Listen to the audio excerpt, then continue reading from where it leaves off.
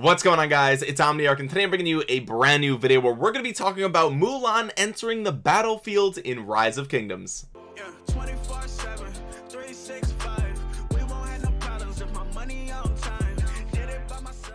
so really quick before we jump in I never post a video at this time of day and so it's my understanding that the YouTube algorithm is probably not going to post this video or send it out to a lot of my subs. So if you are seeing it or if you just enjoy me uploading at this time of day instead of my usual time make sure you drop a thumbs up on it to let that YouTube algorithm know that everyone else who watches my videos should check this out as well. Now in this video we're going to be going over a slightly different English translation compared to the one that is being popularly shared around from discord. I think it was uh, as Bodian posted it over on the discord channel. I also want to give you guys my thoughts and opinions and sort of like my predictions with Mulan and how she's going to be implemented into the game and how her buffs are going to work. Also huge shout out to Lastwagger for sending me some of these leaked images that I saw in other videos. And also I want to bring attention okay? I want to bring attention really quick to Shinchi 42 because this guy posted about Mulan being a leak uh all the way back in January of 2019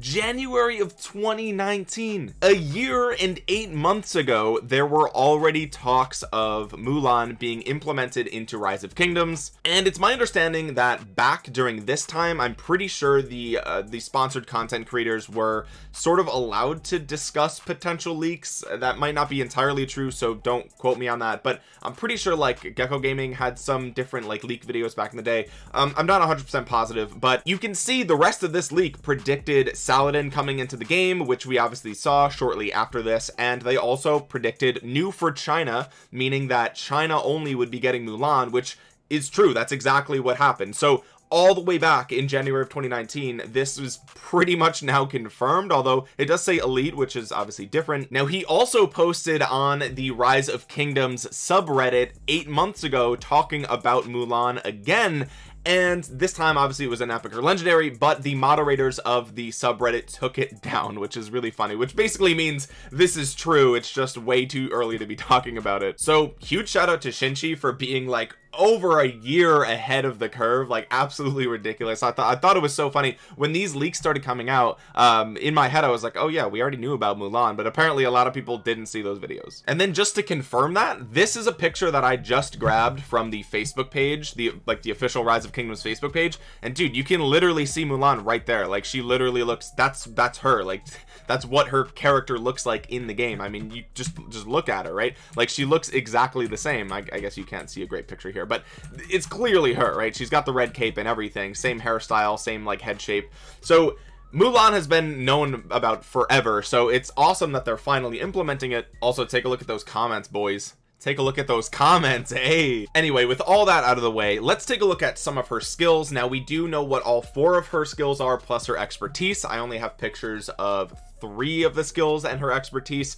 uh, but we know what the what the other skill is. Anyway um this is a rough translation into English everything all the text on the screen. So obviously you can see it says the ambition of helping the family. I guess that's potentially what this skill is going to be called. It's her active skill rage requirement of a thousand. It says the attack power defense power and health of your own troops and nearby allies are increased by five percent and march speed is increased by five percent. Last two seconds. So obviously you can see this is incremental whereas this can go all the way up to 15 percent. So all of your nearby allies get 15 percent attack defense and health which is crazy good. And uh, we see a 25 percent march speed increase for those allies as well. Like everybody on the battlefield is going to be moving 25 percent faster for two sides that's really crazy. Now we're going to talk about how this relates to Joan of Arc in just a second but I want to keep going through and talking about some of the other skills here. So the second skill roughly translates to male and female I, I don't really know. Obviously if you like are familiar with Disney's Mulan then you know you would know that she was she joined the army and kind of pretended to be a, a man and she obviously wasn't. So I guess that kind of makes sense. I don't know if that translation actually makes sense but regardless her second skill is a passive that says damage taken reduced by 1% when surrounded. There is a 20% chance to reduce the target's rage by 20 when counterattacked. This effect can only be triggered once every five seconds. So oh, it goes all the, all the way up to five percent. So that's pretty good. I mean it's it's kind of a small percentage when you really think about it. So damage reduction taken by five percent nothing crazy but it's still nice right? What's really cool about this is the rage reduction. So there there's a 20 percent chance when the enemy is counter attacked to reduce their rage by 100 so that means I guess my understanding of this is that even if you're running away and they're hitting you you're still dealing the counterattack damage and you can still reduce their rage. So normally we see um, there's other skills in the game where it's like there's a 10% chance when you do a normal attack right? So this is kind of a little bit different and also it's a 20% chance. Like this is really good. A 20% chance to reduce the enemy's rage essentially by 10% like that's wild. Now there is a five second cooldown on there um, but I'm a huge fan of this and I think that this is going to be a really powerful uh, debuff for the enemy. Now it's also interesting to note that this five percent damage reduction only takes uh, effect when you're surrounded. So in 1v1 scenarios literally that doesn't do anything it seems. Um, and so that's kind of unfortunate because it, again it's it's already kind of a small damage uh, taken reduction but it is what it is. Um, I think that that rage reduction more than makes up for that because it's just so good right? And also this doesn't mention that the rage reduction only takes place when you're surrounded but it could right? Because this is kind of a rough translation. So this this may not be exactly how it works. Of course these are um again these are ch chinese translations so we don't really know 100 percent. Uh, we have to wait and see how the commander works in the game to know for sure. But um hopefully this rage reduction takes effect even when you're not surrounded. That would make this a very good skill. Her third skill which i don't have a picture of but her third skill increases experience by 95 percent at five skill points which is a pretty straightforward skill. It's basically the same as lohar except a little bit better which is great. I think you know this is one of my common things that i've talked about. I always talk about how hard it is to get experience on your commanders. Uh, some people may disagree especially if you buy a lot of packs in the game or if you just are killing all the guardians across the entire map every single day then sure. But uh, for most of us who don't have the time to spend doing that I think that it is still very difficult to level up commanders all the way up to 60 because you need a lot of them. And so I'm glad to see them implementing another commander that is going to increase the amount of experience uh, experience that you get. Now I guess we can pause here and actually talk about her um, her actual skill tree or talent trees right? So she is an integration. You can see in the back there. She's an integration uh, commander a peacekeeping commander and a support commander. Um, however these don't really matter that much um, because this fourth skill talks about when serving as a secondary commander. So it doesn't really matter that she doesn't have very good offensive um, talent trees because she's going to be secondary anyway which is actually nice because you can build her full peacekeeping and still get the maximum utility out of her in a pvp scenario as well which i really really love. So um, this is going to be a peacekeeping commander for sure 100% but she's also going to have some really great utility in pvp which is great right? That's amazing hopefully she comes into the game as a free-to-play commander. We're going to speculate how I think she's going to be implemented outside of China because right now she's only implemented in China as it is. Um, but her fourth skill let's take a look. It's called female general I guess. Um, I, I, don't know exactly what this would specifically translate to but that seems to be somewhat accurate maybe. If you guys speak Chinese uh, comment down below what you actually think um, this is called. If you've seen the actual leaks the actual uh, not leaks but screenshots of this commander in the Chinese game. Now this skill says power is increased by 10 percent so at five skill points it would be 20 so straight up you get 20 percent extra attack which is awesome because it doesn't specify which um which troop type right? So you can literally pair her with any commander and they get 20 percent extra attack. Like that's amazing right? That's really good. Um she also says when serving as secondary commander current target will take more damage after the active skill is used. Damage taken increased by 10 percent for three seconds. This goes all the way up to 20 percent. So that means whenever and I don't know if this is it, Mulan's active skill or the active skill of the primary commander or is it just either active skill? That would make this insanely good right? But this just says after the active skill is used which I don't really know how to interpret that. Let's just assume that it's the active skill of the primary commander I guess right? Because if this happened after any active skill that would be insanely good. Like that would be almost broken because the active skill the primary would go off and then you have one turn two turns of them taking 20 percent more and then Mulan's active skill would go off which gives you three more turns. So that's five turns right? Because they obviously wouldn't stack with that one turn overlap. Um that's five turns. So i guess basically half the time they would be taking more uh 20% more damage and and that's you know if there's a rage engine involved like it could be more more than 50% of the time. Anyway this is a really good skill super super powerful debuff for the enemy. Now again we still need to see how this actually works in game to see how powerful this is because this could be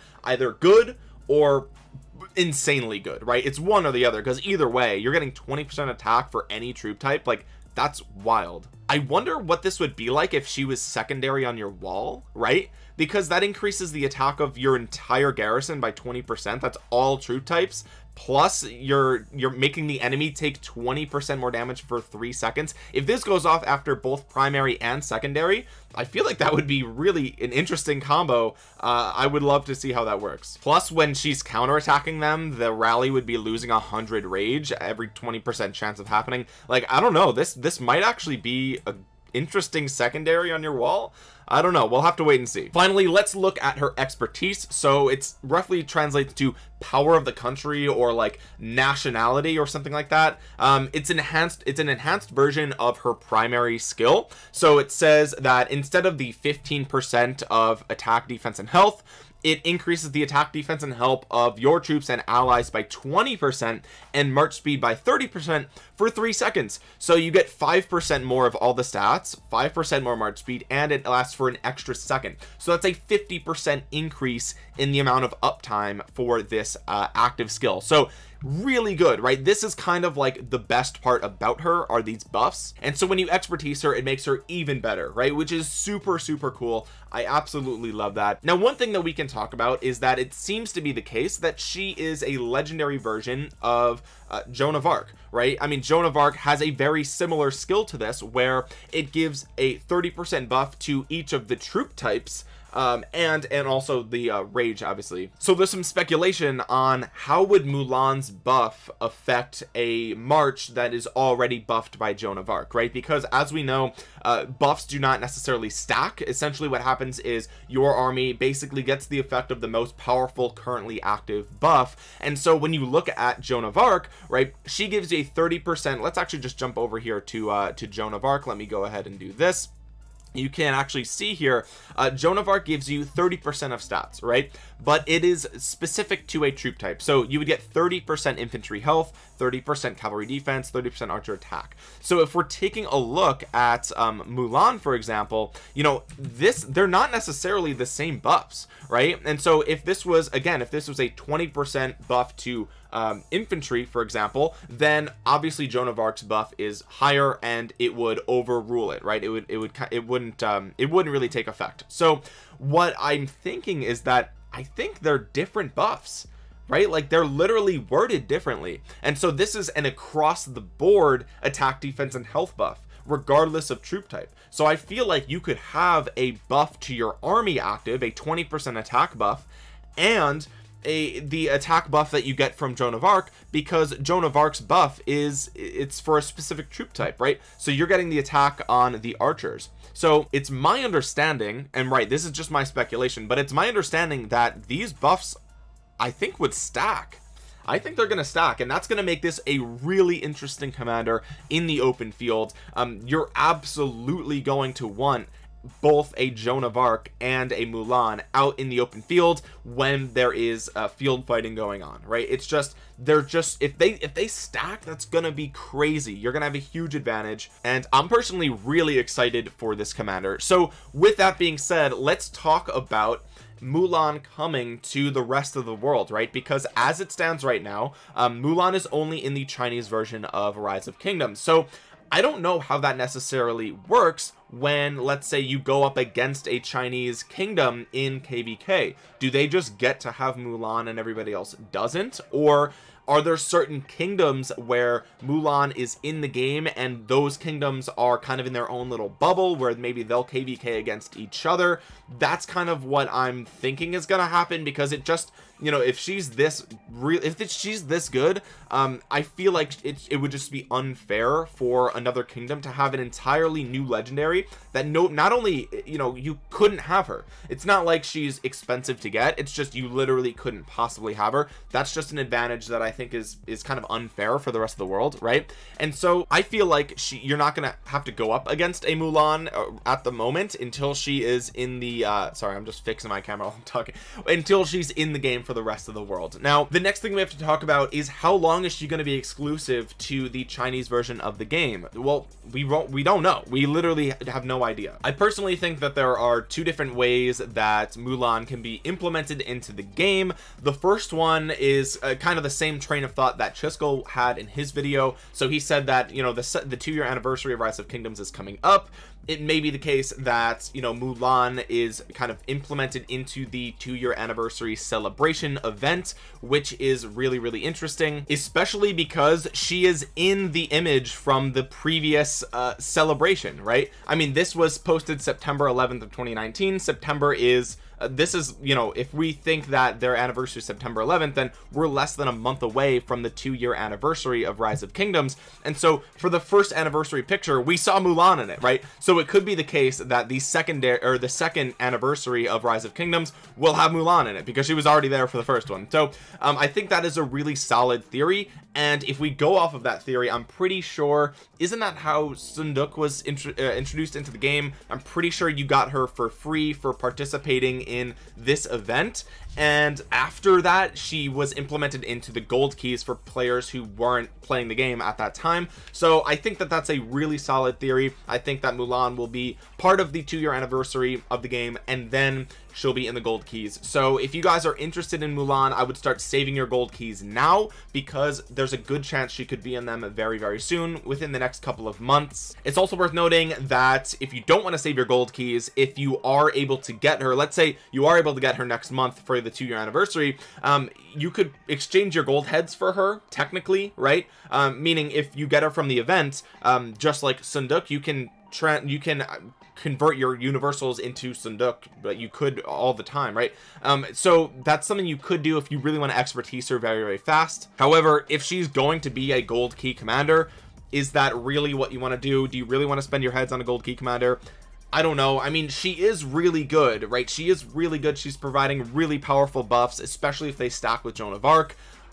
Hey it, might be worth it. I don't know. We'll have to wait and see how just broken good she is. Now the second way that they could implement Mulan into the game is they could replace Aethelflaed in the metal shop. I think that's another reasonable implementation for her. So for example they could implement her as a two-year anniversary commander and then after that um, instead of putting her in the gold keys like they did with Seondeok they could put her into the metal shop as kind of a rotation with Aethelflaed I hope that they wouldn't just take her away because she's a very powerful commander and new players still need to expertise her but I think maybe a rotation between Aethelflaed and Seondeok would be I'm sorry, not Seondeok, Mulan. Um, I think between those two, that would be a nice rotation, give some nice, uh, something fresh, right? Or maybe you get Mulan kind of comes unlocked after you expertise Aethelflaed, right? So Aethelflaed's in the store until she's expertise, then it switches to Mulan and you can expertise her. So that would kind of follow the same sort of um, theory behind the daily bundles, right? So there's a daily bundle for Cao Cao. When you expertise him,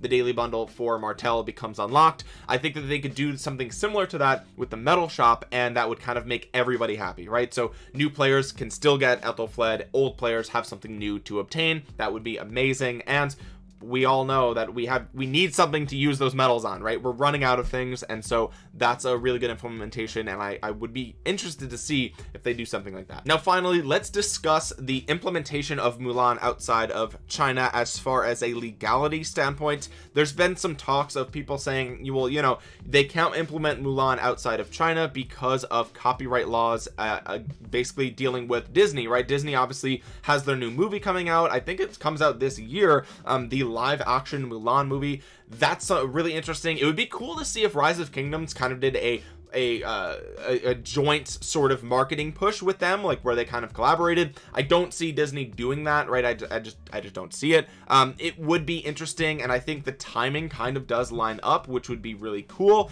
Um but I don't think that that would be the case. And in fact um I do think that there could potentially be a legal issue with with this. However I, I don't think there will be right? I don't think there will be because Mulan is actually a fictional character. It's not like Disney made Mulan. Um, Mulan has the story of Mulan has been around before Disney right? And so it's worth keeping that in mind. And also it doesn't look like Mulan from the movies or anything right? It's literally just an Asian female. There's Disney can't copyright a generic Asian female warrior right? It's just it you can't do that. Um and so in even in the worst case scenario if Disney copyrighted the name Mulan out in the Americas right somehow um literally rise of kingdoms could just in the English version of the game just call her something else. They could just give her a different name outside of China and just keep her looking the same functioning the same and, and every everything like that. Um, and then immediately Disney would have nothing to go off of right? Because th there's just no resemblance here at all to Disney's Mulan. So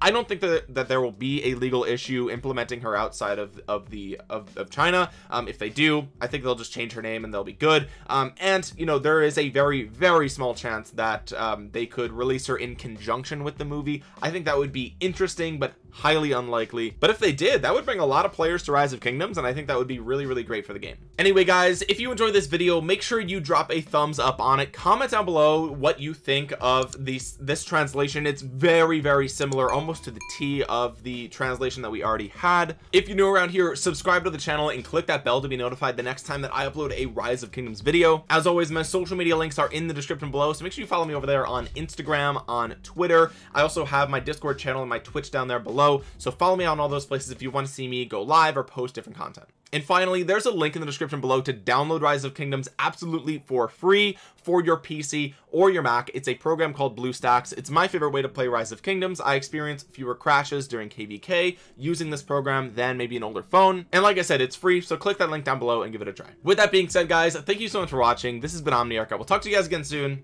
Peace